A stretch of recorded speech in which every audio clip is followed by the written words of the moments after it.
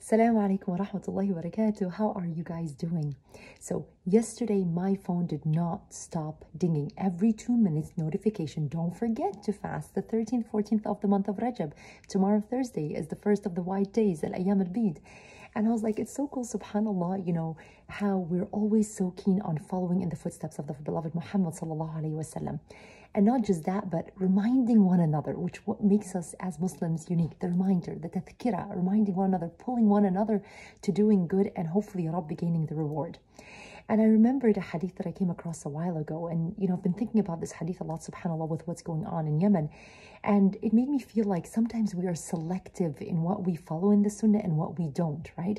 Certain things that we feel are closer to our heart, we follow, and certain things we don't, although it's still a sunnah or it's still something that the Prophet ﷺ spoke about or recommended or spoke highly of. And the hadith basically happened in the setting, the group of Sahaba sitting with the Prophet wasallam, and one of the men said, the best of men are the men of Najd. And the Prophet wasallam replied saying, no, the best of men are the men of Yemen, right? Belief or iman or faith is Yemeni and I am Yemeni. Sallallahu Alaihi Wasallam.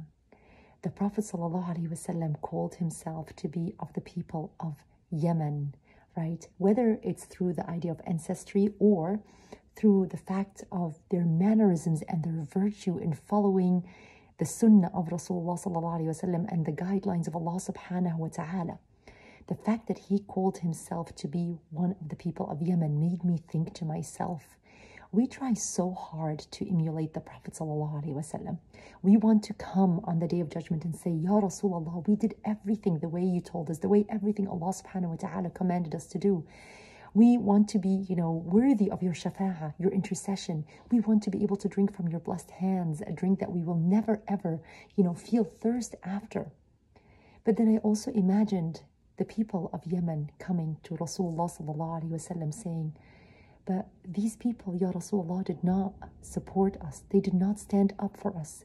They knew what was going on in Yemen, how it's a war zone, how people are dying not out of bullets but from hunger. Our brothers and sisters in Yemen are dying from hunger. And what are we doing? What are we doing? What are we going to tell Rasulullah? How have we really stepped up and stood up for our brothers and sisters in Yemen? The people whom he called himself to be one of them. Don't just walk away. Stop and think about it. Are we being selective in how we follow the Prophet ﷺ? Or are we going to really support and stand up for our brothers and sisters in Yemen? Please join me and swipe up and help our brothers and sisters today. Don't just scroll down and say, oh, it's another message. It's not. Wallahi, think about it. السلام عليكم ورحمة الله وبركاته.